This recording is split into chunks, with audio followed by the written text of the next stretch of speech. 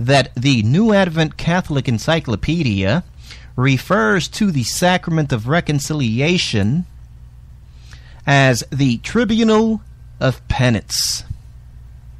Interesting.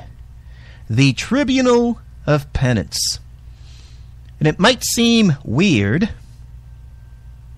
I mean, have you ever heard this term applied to the sacrament of reconciliation, confession, the tribunal of penance? Seems weird, doesn't it? But if you think about it, confession is actually a judicial process. We have elements of the court system within confession, the sacrament of confession. We have the accuser, the person who points the finger and says, He did it. Except that in the case of confession, you are pointing the finger at yourself. right? You are the accuser accusing yourself. And so you stand as the accuser. You stand as the accused, the person being incriminated in this crime against God. And not only against God, our sins, they, they offend God but they also affect civilization. They affect the human race. You go out, you commit murder, it's a sin. And that act affects not only the person whose uh, life you've taken, but it affects that person's family, those who knew the person those who suffer loss because of your actions, right? And so your sin affects civilization, it affects the human race. Much like we have it in civil America, right? Much like we have it in the civil system murder, civilly speaking, not only affects the person whose life you've taken, but it affects that person's family civilly. And so we have laws civilly against the act of murder. Within the church, we consider murder to be a mortal sin. And that sin affects not only the person who commits the sin, that person's soul, but also the person whose life you've taken, the persons who are family members or were family members of that person, they are all affected. And so your actions, your sin, they affect not only God,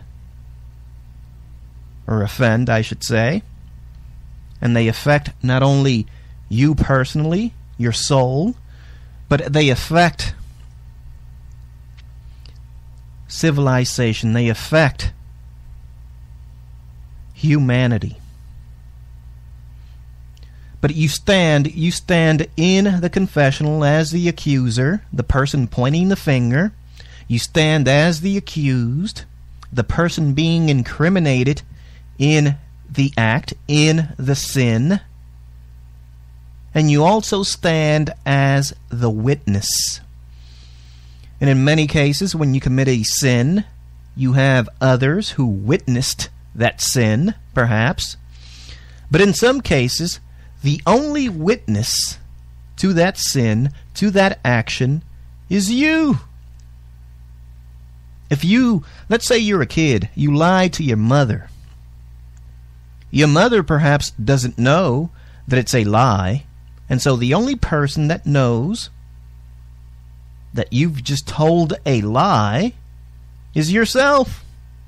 And so you go to confession, you confess this sin, you confess this lie, and you are the only witness who is privy to this crime being committed, this sin being committed.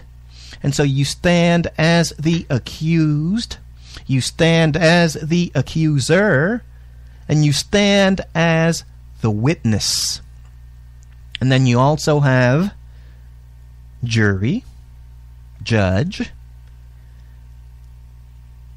the person who hears your case, the person you plead your case to, which happens to be the priest, right? And so he stands as jury, he stands as judge, he evaluates your case, and he administers a sentence. He administers a penance. And so confession is a judicial process. You have all of the elements we might find in a civil court. You have the judge, the jury, you have the accuser, you have the accused, you have the witness. And so you have a judicial process within confession. And civilly, the way in which you atone for your crime against humanity is that you have to do penance, right? You have to do penance. You have to fulfill a certain sentence, whatever it might be. It might be time in jail. It might be a fine whatever the judge deems to be the appropriate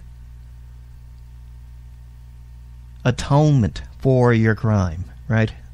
The appropriate penance for your crime. And we have the same in, in confession, right? You have to do penance in order to atone for your sin. This is the teaching of the Catholic Church.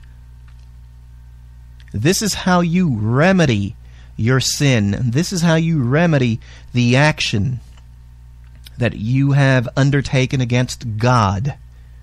There has to be penance. You have to do penance. This is one of the three requirements, actually. You have to be truly sorry for your sins. You have to commit to the idea that you will never commit that sin again to the best of your ability. Obviously, we are all sinners. We stumble, we fall. And sometimes we commit the same sin over and over again and again. Right? And so, to the best of your ability, you have to commit to the idea that you will never commit this sin again. And thirdly, you have to do penance. It is a requirement. In order for that confession to be valid, you have to do penance. Right? And we have the same thinking in the civil process. Civilly, we have that same thinking. Some penance, some sentence has to be fulfilled in order for atonement to be achieved.